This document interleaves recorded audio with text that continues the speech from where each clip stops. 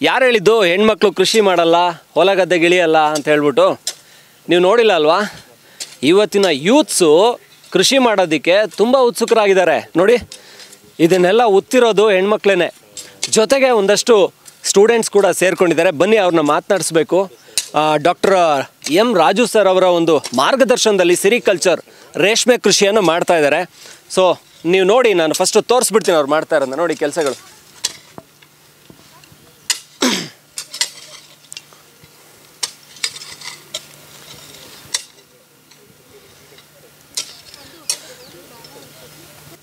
ನೋಡಿ, ವಂದನ ಅಂತಿದ್ದಾರೆ. ತುಂಬ ನೀಟಾಗಿ ಲೈನ್ ಹಾಕಿ ಅದಕ್ಕೆ ನಮ್ಮ ಯೂತ್ಸು ಲೈನ್ ಹಾಕೋದೇ ಬೇರೆ ಬಟ್ ಇಲ್ಲಿ ನಿಜವಾಗ್ಲೂ ಹೊಲದಲ್ಲಿ ಲೈನ್ ಹಾಕ್ತಾ ಇದ್ದಾರೆ. ಸೊ ಹಂಗಾಗಿ ಕೇಳೋಣ. ಹಾಯ್ ವಂದನ ಅವರು, ಹೇಗಿದ್ದೀರಾ? ಹಾಯ್ ಸರ್ ನಾನು ಸೂಪರ್ ನೀವು ಹೇಗಿದ್ದೀರಾ? ಸೊ ಹೆಂಗಿದೆ ಕೆಲಸ? ನೀವು ಗುದ್ಲಿ ಹಿಡ್ಕೊಂಡು ಕೆಲಸ ಮಾಡ್ತಾ ಇದ್ದೀರಾ? ಅಂದ್ರೆ ಹೆಣ್ಮಕ್ಳು ಅಂದ್ರೆ ಎಲ್ಲರೂ ಖುಷಿ ಪಡ್ತಾರೆ, ಜೊತೆಗೆ ಹಿಂಗ್ ಮಾಡ್ತಾರ ಅಂತಾರೆ. ತುಂಬಾ ಖುಷಿ ಆಗುತ್ತೆ. ಅಂದ್ರೆ ಮನೆಯಲ್ಲಿ ಅಗ್ರಿಕಲ್ಚರ್ ಬ್ಯಾಕ್ಗ್ರೌಂಡ್ ಇರೋದ್ರಿಂದ ಮನೇಲಿ ಅಷ್ಟೊಂದೇನು ಕೆಲಸ ಮಾಡಿಸಲ್ಲ ಬಟ್ ಕಾಲೇಜಲ್ಲಿ ಒಂದು ಆಪರ್ಚುನಿಟಿ ಕೊಟ್ಟು ನಮಗೆ ಒಂದು ವರ್ಕ್ ಅಲಾಟ್ ಮಾಡಿದ್ದಾರೆ ಮಾಡಿ ಅಂತ. ಬಟ್ ಬೀಯಿಂಗ್ ಅಗ್ರಿಕಲ್ಚರಲ್ ಸ್ಟೂಡೆಂಟ್ ನಮ್ಮ ಫ್ಯೂಚರ್ ಇಂಡಿಯಾ ಅಗ್ರಿಕಲ್ಚರ್ ಮೇಲೆ ಡಿಪೆಂಡ್ ಆಗಿರೋದು. ಯಾಕಂದರೆ ಇವಾಗ ವೈರಸ್ ಎಲ್ಲ ಬಂದು ವ್ಯಾಕ್ಸಿನ್ಸ್ ಅಷ್ಟೇ ಸಪ್ಲೈ ಮಾಡ್ತಿಲ್ಲ ನಾವು ಎಕ್ಸ್ಪೋರ್ಟ್ ಮಾಡ್ತಿಲ್ಲ. ಲೈಕ್ ಫುಡ್ ಫುಡ್ ಗ್ರೈನ್ಸ್ ಕೂಡ ಸಪ್ಲೈ ಮಾಡ್ತಿದ್ದೀವಿ ಸೊ ನಮ್ಮ ಫ್ಯೂಚರ್ ಎಲ್ಲ ಅಗ್ರಿಕಲ್ಚರ್ ಮೇಲೆ ಡಿಪೆಂಡ್ ಆಗಿರೋದ್ರಿಂದ ಯಾರು ಹೋಪ್ಸ್ ಕಳ್ಕೊಬೇಡಿ. ಸೈಂಟಿಫಿಕ್ ವೇಲ್ ಕೂಡ ಮಾಡ್ಬೋದು ಅಗ್ರಿಕಲ್ಚರ್ನ ಅದರಲ್ಲೂ ಪ್ರಾಫಿಟ್ ಇದೆ ಅಂತ ಹೇಳಕ್ಕೆ ಇಷ್ಟಪಡ್ತೀನಿ. ಯಾರು ಹೋಪ್ಸ್ ಕಳ್ಕೊಬೇಡಿ ಅಂತ. ಯಾರು ಇವತ್ತೆಲ್ಲ ಈ ಗದ್ದೆಗೆ ಗುದ್ಲಿ ಹಿಡ್ಕೊಂಡು ಕತ್ತಿ ಹಿಡ್ಕೊಂಡು ಅಗಿತಾರೆ ಕಡಿತಾರೆ ಅಂತ ಹೇಳಲ್ವಾ? ನಿಮ್ಗೆ ಅನ್ಸಲ್ವಾ ಹಂಗೆ? ಹಂಗೇನಿಲ್ಲ ಸರ್ ಅಂದರೆ ಇವಾಗ ಲೇಬರ್ಸೇ ಬಂದು ಮಾಡಬೇಕಂತ ಇಲ್ಲ. ಇವಾಗ ಬೇಕು ಸೈಂಟಿಫಿಕ್ ಟೆಕ್ನಾಲಜಿಲಿ ಬಂದಿದೆ ಮಿಷನರೀಸ್ ಎಲ್ಲ ಬಂದಿದೆ. ಗೌರ್ಮೆಂಟ್ ಸಬ್ಸಿಡೀಸ್ ಕೂಡ ಕೊಡ್ತಾ ಇದೆ. ಅದರಲ್ಲಿ ಕೂಡ ಮಾಡ್ಕೋಬೋದು. ಸೊ ಕಷ್ಟ ಏನಾಗಲ್ಲ ಸರ್ ಖುಷಿಯಿಂದ ಮಾಡಿದ್ರೆ ಯಾವುದಾದ್ರೂ ಓಕೆ ಟೆಕ್ನಾಲಜಿ ಅಡಾಪ್ಟ್ ಮಾಡ್ಕೋಬೇಕು ಅಂತ ಹೇಳ್ತಾ ಇದ್ದಾರೆ. ಹಂಗೆ ಈ ಲೈನಲ್ಲಿ ಬನ್ನಿ ನೋಡಿ.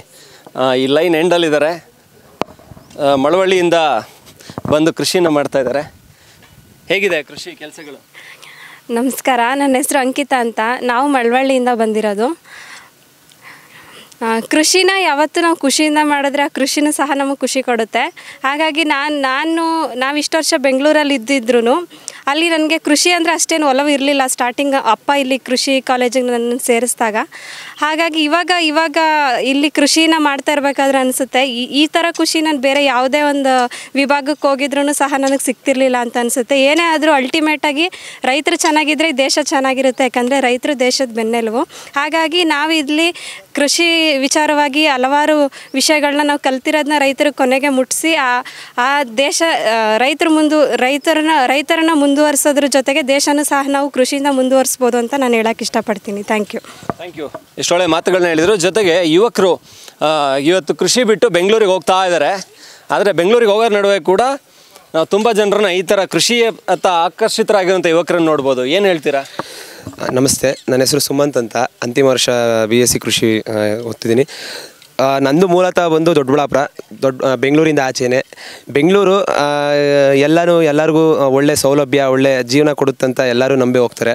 ಆದರೆ ನನಗನ್ಸ್ದಂಗೆ ಒಂದು, ಒಂದೇ ಒಂದು ಈ ಥರ ಕೋವಿಡ್ ಅಟ್ಯಾಕ್ ಆದಾಗ, ಒಂದೇ ಒಂದು ಅಲೆ ಆ ಥರ ನೋಡಿ ಈ ಥರ ನಮ್ಮನ್ನು ಪೂರ್ತಿ ಎಲ್ಲ ನಮ್ಮ ಈ ಎಕನಾಮಿಕ್ ಸ್ಟೆಬಿಲಿಟಿನೇ ನಮ್ಮನ್ನು ಹಾಳು, ಹಾಳುಗಿಡ್ತು. ಅಂದಾಗ ಅವಾಗ ಏನು ಮಾಡ್ತಾರೆ ಅಂದರೆ ಸಿಟಿಯಲ್ಲಿ ಇದ್ದವ್ರನ್ನೆಲ್ಲ ಏನು ಮಾಡಿದ್ರು, ಹಳ್ಳಿಗೆ ಬಂದರು. ಏನಕ್ಕೆ? ಕೃಷಿ. ಎಲ್ಲದಕ್ಕೂ ಅವ್ರಿಗೆ ಕೃಷಿ. ನಮ್ಮನ್ನು ನಾವು ಹುಟ್ಟಿಸ್ಕೊಬೋಣ ಅಂತ ಅಟ್ಲೀಸ್ಟ್ ಬೇರೆ ಬೇರೆ ಕಡೆ ನಮ್ಮ ಕೈ ಕೊಂಡಾಕಂತೂ ದುಡ್ಡಿಲ್ಲ. ಅದನ್ನು ಅದು ಅದು, ಅದ ಕೊಂಡಾಗ ಆಗಲಿಲ್ಲ ಅಂದರೂ ನಮ್ಮ, ನಮ್ಮಲ್ಲಿ ನಮ್ಮ ನಮ್ಮ ಜಮೀನಲ್ಲಿ ನಾವು ದುಡ್ಡು ಮಾಡಿ ನಮ್ಮಲ್ಲೇ ನಾವು ಊಟ, ನಾವು ನಾವು ಅನ್ನನ ಹುಟ್ಟಿಸ್ಕೊಳ್ಳೋಣ ಅಂತ ಅದೊಂದು ಒಳ್ಳೆಯ ಆವಿಷ್ಕಾರ. ಆಮೇಲೆ ತುಂಬ ಜನ ನೋಡಿದಿರಿ ಸಮಗ್ರ ಕೃಷಿ ಪದ್ಧತಿಗಳನ್ನು ಮಾಡ್ತಿದ್ದಾರೆ. ಆಮೇಲೆ ತೋಟಗಾರಿಕೆ ಆಗಲಿ, ರೇಷ್ಮೆಗಾರಿಕೆ ಆಗಲಿ ಮತ್ತು ಇನ್ನೊಂದು ಹೈನುಗಾರಿಕೆ ಆಗಲಿ, ಇದರಲ್ಲೆಲ್ಲ ಒಳ್ಳೊಳ್ಳೆ ತುಂಬ ನನಗನ್ಸ್ದಂಗೆ ಇದರಲ್ಲಿ ಇದನ್ನು ಮಾಡಿದವ್ರು ಯಾರು ನಾವು ನಾವು ನೋಡಿಲ್ಲ. ತುಂಬ ಫೇಲ್ಯೂರ್ಸ್ ಆಗಿರೋದು. ಸಕ್ಸಸ್ ಆಗಿದ್ದಾರೆ. ಅಂದರೆ ಸ್ಲೋ ಸಕ್ಸಸ್ ಆದರೂ ಸಕ್ಸಸ್ ಆಗಿ ಆಗ್ತಾರೆ ಅಂತ ಒಂದು ಮಾತು ಒಂದು ನನಗೊಂದು ನಂಬಿಕೆ ಅನ್ನೋದು ಅಂತ ಹೇಳ್ತೀನಿ. ಆಮೇಲೆ ನಮ್ಮ ಕಡೆ ಏನಂದರೆ ತುಂಬ ಹೂವು ಬೆಳೀತಾರೆ. ತರಕಾರಿ ವ್ಯಾಪಾರಿಗಳು ಜಾಸ್ತಿ ಇದ್ದಾರೆ ತರಕಾರಿ ಜಾಸ್ತಿ ಬೆಳೀತಾರೆ. ಆಗ ಏನಂದರೆ ಅವ್ರಿಗೆಲ್ಲ, ನಮಗೆಲ್ಲ ಜಾಸ್ತಿ ನಮ್ಮ ಕಡೆ ಎಲ್ಲ ಟೊಮೊಟ ಇವೆಲ್ಲ ಈ ಬೆಳೆ ಜಾಸ್ತಿ ಇರ್ತದೆ. ಸೊ ಅದಕ್ಕೋಸ್ಕರ ತೋಟಗಾರಿಕೆನೂ ಒಳ್ಳೆ ಲಾಭ ಒಂದು ಹೆಚ್ಚು ಹೆಚ್ಚಿಗೆ ಮಾಡ್ತದಂತ ನಾನು ಒಂದು ಹೇಳ್ತೀನಿ. ಬೆಂಗಳೂರು ಬಿಟ್ಟು ಇಲ್ಲೇ ಇರ್ಬೋದು ಅಂತ ನಾನು ಹೇಳ್ತೀನಿ.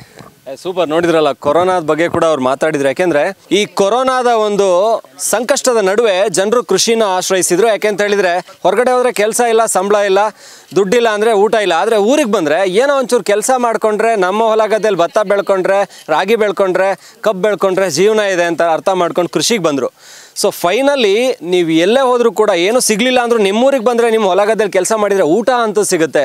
ಸೊ ನೋಡಿ ಯೂತ್ಸ್ ಎಷ್ಟೊಂದು ಚೆನ್ನಾಗಿ ಅದಕ್ಕೆ ಕೆಲಸ ಮಾಡಿ ಮಾಡ್ತಾ ಇದ್ದಾರೆ ಸೊ ಈ ಒಂದು ತಂಡ ಈ ಕೃಷಿ ವಿಶ್ವವಿದ್ಯಾಲಯ, ಕೃಷಿ ಮಹಾವಿದ್ಯಾಲಯ ವಿ ಸಿ ಫಾರಂ ಮಂಡ್ಯದಲ್ಲಿರುವಂಥ ಟೀಮ್ ಇವ್ರು ನೋಡಿದಾಗ ನಿಜವಾಗ್ಲೂ ನಮ್ಮ ದೇಶದ ಭವಿಷ್ಯ ಕೃಷಿ ಸುಭದ್ರವಾಗಿರುತ್ತೆ ಅಂತ ಅನಿಸ್ತಾ ಇದೆ.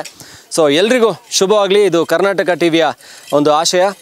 ಕ್ಯಾಮ್ರಾ ಪರ್ಸನ್ ರೂಪೇಶ್ ಜೊತೆ, ಓಂ ಕರ್ನಾಟಕ ಟಿವಿ ಇದು ಕನ್ನಡಿಗರ ಧ್ವನಿ.